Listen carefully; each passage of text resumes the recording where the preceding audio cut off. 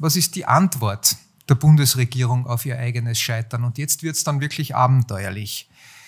Die Antwort auf dieses Scheiterns und auf den Betrug, den die Bundesregierung in Wahrheit an der gesamten österreichischen Bevölkerung begangen hat, und da spreche ich von den Geimpften genauso wie von den Ungeimpften. Sie alle sind betrogen worden.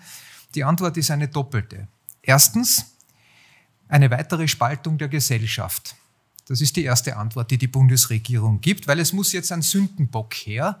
Und da ist man bereit, den Keil noch tiefer, als es schon bisher geschehen ist, in die Bevölkerung hineinzutreiben und gesellschaftliche Verwerfungen in Kauf zu nehmen. Und das sind jetzt die Ungeimpften, für die hat man einen neuen Kampfbegriff erfunden, die Ungeimpften sind jetzt nicht mehr die Impfskeptiker, sondern sie sind jetzt die Impfverweigerer.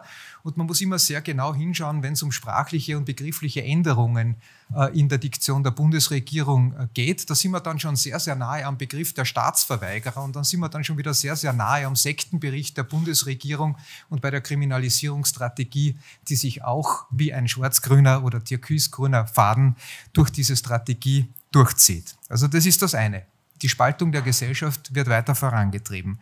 Und das Zweite ist, man treibt denselben evidenzbefreiten medizinischen Wahnsinn weiter voran, der in das ganze Desaster hineingeführt hat.